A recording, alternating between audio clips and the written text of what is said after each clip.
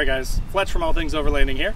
On today's gear review, I'm going to be talking about the Texsport 6-piece cooking set. Um, I recently picked this up for a reason. Previously, this is my last US Bags Happy Camper. Uh, I use this to keep all my cookware and stuff like that in it. I love this thing. It's awesome. And everything seems to fit really well. Um, but here's the cookware that I was using previously. So I've got two of these old backpacking sets, right? They're really, really tall. They're really crappy. They're pretty beat up at this point. I mean, I've definitely used them a lot. Um, but so they're just, they're not non-stick at all. So everything sticks to them. They're a mess to clean up. Uh, they've just had kind of a rough life. And I bought them back in the day because they were inexpensive. These are about 20 to 25, 30 bucks for a set of these. Um, they usually come with like the plastic little bowls and some other kind of useless stuff. And then this is my newer other one that I've got. So similar, I mean, almost identical design. You know, a pot and a pan. But again, not non-stick at all. More intended for like backpacking. They are super light and they're very, very small, which actually can make it kind of difficult. If you've got like a can of chili or vegetables or something like that, it pretty much fills one of those pots up. Um, so I run out of room pretty frequently. They're messy to clean up. They're inexpensive. They're kind of beat up. I've had them for a long time. So that's why I picked up this set. Um, this set has non-stick coating on the inside of all these things. Inside of here, there's this little strap that holds this all together. You can pop off, and it comes with this little carrying bag, which is nice.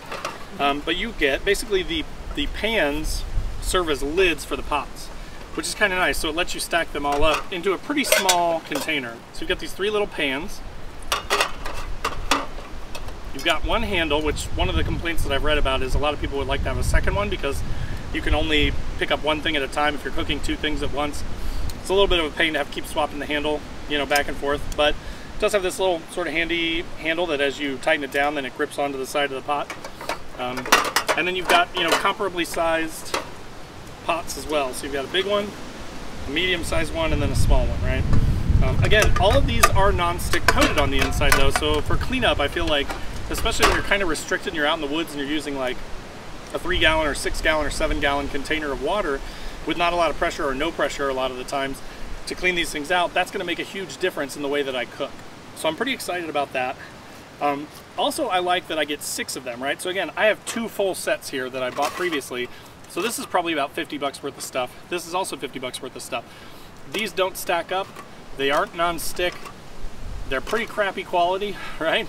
Um, and they just even though they're slightly smaller in on their own because I have to carry two of them even to have four containers right which again these pans are pretty useless. Like this thing is smaller than this small one here and that's the smallest of the Texsport ones.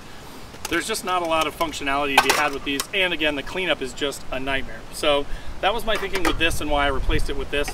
One thing that I will say from a quality standpoint on this is this does feel very thin and one of my subscribers on Facebook, when I mentioned that I was looking at this, um, they said that they had had this set too and that to them it seemed very thin. So I'm gonna have to be careful that I don't dent it up or, or destroy them somehow, dropping something on them or dropping them. Um, so you have to be a little bit careful with them because of how thin they are. But again, for the price, for about 50 bucks, it's about the same as two of these crappy cheap sets. Um, so I figured I'd give them a try. So, you know, this is the first time that I've ever taken them out. I'm gonna be camping this weekend, so I'm gonna use them and I'm gonna let you guys know kind of my my final thoughts on them after I get a chance to use them, but just wanted to kind of show you guys the features of it, talk a little bit about why I replaced my old ones with these, and why for like an overlander this might make sense. They're a little bigger, so they don't fit in my bag anymore, which is a downside. But if you've got room in your rig, you've got a dedicated spot, I'm actually keeping these in, in my drawers. There's a little spot that's just perfect for them. They fit in there just perfect. I'll show you here in a second. But so they fit right in my drawers, which is really nice. That way I always have them. I don't have to worry about forgetting them or leaving them at home. Um, but I can't wait to use them. I'm, I'm excited to test out the non-stick stuff. I'm excited to cook stuff in bigger pots and pans. And I'm excited that they all fit into one, you know, one single container. And then when you're done, you put them all back together. You can strap your strap to the, the handle sides on the side to hold them all together. Put it back in your bag and you're good to go. So again, thanks for watching. I hope that that gives you a little bit of information on it, lets you kind of see what these things look like, um, and kind of gives you a good comparison from like the old style, cheap backpacking uh, pots and pans to this newer, non-stick, slightly nicer kit. Um, there are some that are two, three hundred dollars for like full overlanding style kits. Someday I may upgrade to something like that. For me, I'm mostly a solo camper, so this made sense for now. Um, so again, there will be a link in the description to this thing. Uh, if you're interested in buying it, click through that link and go get yourself one. Um, I'd love to hear from you guys in the comments. What are you guys using? What is your what does your kitchen setup look like? So post up in the comments. Let me know what you guys use. Let me know what your setup is. Let me know if you have have had these before and have had good luck or bad luck. And let me know if you've got something that you like better because of course I'm always checking out new gear. So thanks again for watching and we'll see you next time.